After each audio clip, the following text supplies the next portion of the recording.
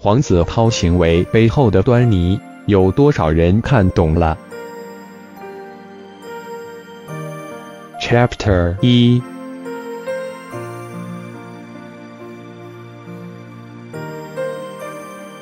最近综艺节目《创造一百零一》热播，除了小姐姐们真真假假的奋力叛搏备受关注外，导师们不经意间的一言一行也成为了热门话题。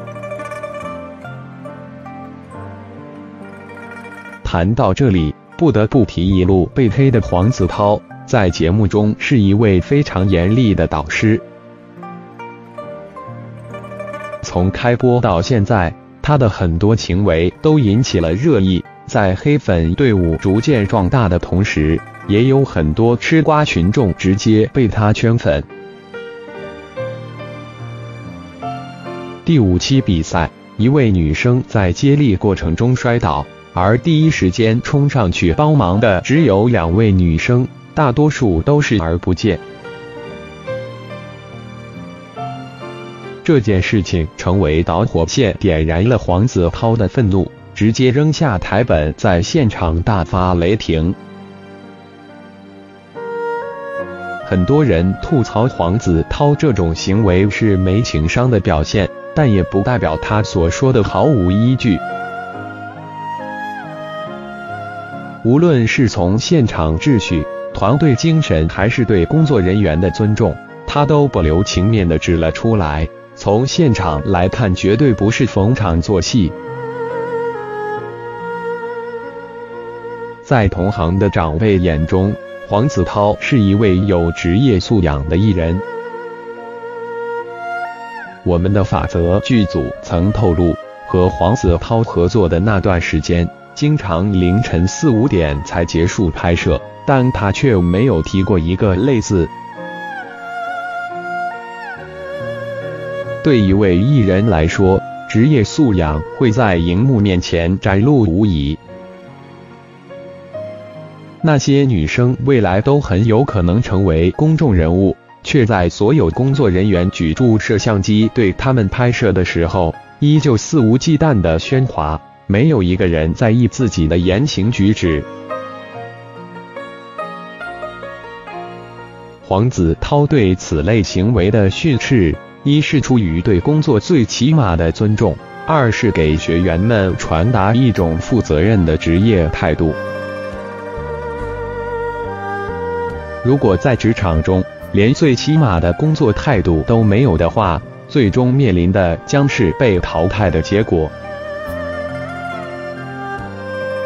Chapter 二。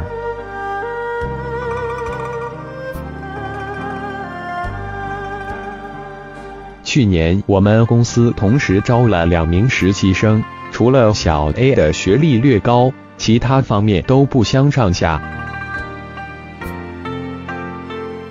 有一次出货盘点，我发现漏登记了一批货物，可那时他们都已经下班了。虽然并不是特别着急的事情，但我还是打电话把问题告知他们。小 A 觉得问题不大，说第二天解决。而小 B 立马返回公司，当晚把数据核对更新，还给我发了一份检讨。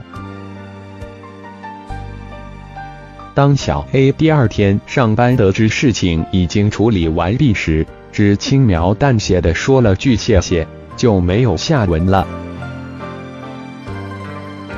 而正是因为这件事中小 B 负责任的态度，使他成为了我们公司的正式员工。尽管小 A 时常散发出高学历的优越感，但在处理这件事上，他认为事情并不紧急，没必要大费周章的赶回来。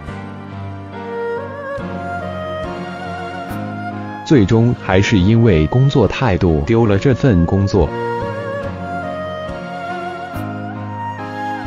在职场中，学校获得的所有奖状和风光历史只是敲门砖，工作态度和能力可以决定一切。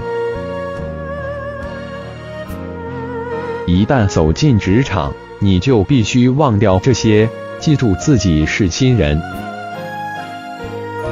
时刻保持谦逊的态度，待人友善，不懂就问。通过不断的学习，提升自身能力才是至关重要的。Chapter 三，无论是明星、优等生还是普通人，在职场面前一律平等。初入职场，可能很多地方做的不够好，但绝不应该拿你是新人做挡箭牌。不管你有没有能力完成任务，态度很重要。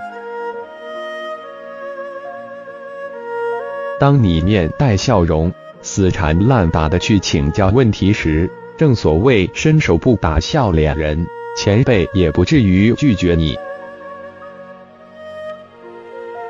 即使真的拒绝，在前辈他们的心中也会默默给你一个做事认真的标签。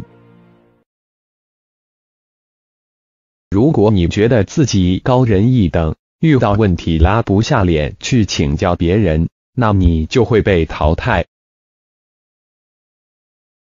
即便职场前辈也是如此。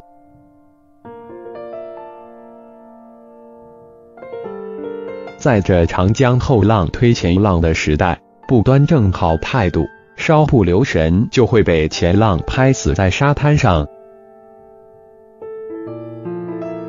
而这指的不仅是坚持学习、虚心请教的态度，还有待人处事的态度。一个人靠不靠谱，很多时候从态度就能看得出来。我们不断前进，开拓新的视野，做新的创作，因为我们有好奇心，是好奇心不断将我们领向新的旅途。抛去身份，抛去地位，抛去莫名的优越感，我们只是一名普通的职场人士，态度将决定一切。